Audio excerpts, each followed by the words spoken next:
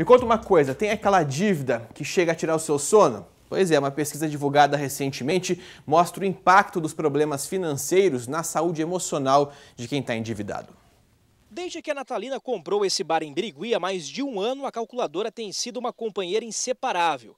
É que para poder abrir o empreendimento, a comerciante pegou um empréstimo, virou aquela bola de neve nem dormir direito ela consegue. Eu peguei um dinheiro emprestado, não consegui pagar e eu comecei a ficar nervosa, ansiosa, não dormia à noite e sob pressão também do rapaz que vinha receber.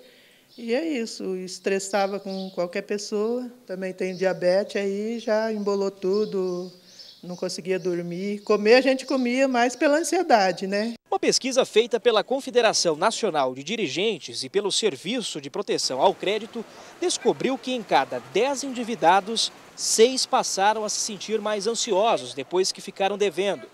Na sequência aparecem a insegurança, o estresse, a angústia e o desânimo. Se você não para para falar assim, não, eu estou endividado, não, a coisa saiu do meu controle, você não consegue admitir, se você não lida com a realidade como ela é, como é que você vai resolver?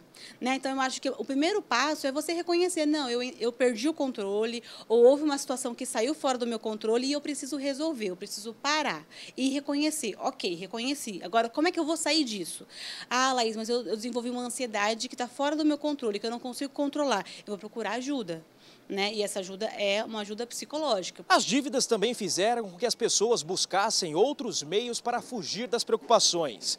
Por isso, 22% das pessoas com contas atrasadas desenvolveram algum tipo de vício. Quando a gente vai pensar em endividamento, a gente vai pensar que o ser humano está ali caminhando, pagando suas dívidas, de repente ele começa a se sentir mais vulnerável. Por quê?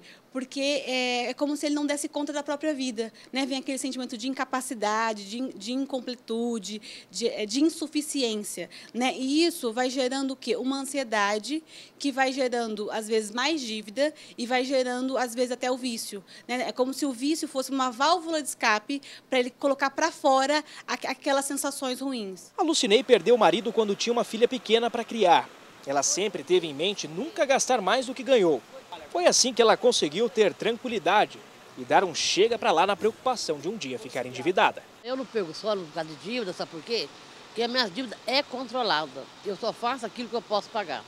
Nada eu compro a dividir em 10 vezes. Tudo que eu compro a dividir só em 3 vezes, mesmo que eu passe sufocada. É só 3 vezes e pronto. Mas sempre manter o controle. Sempre, graças a Deus eu consigo fazer isso.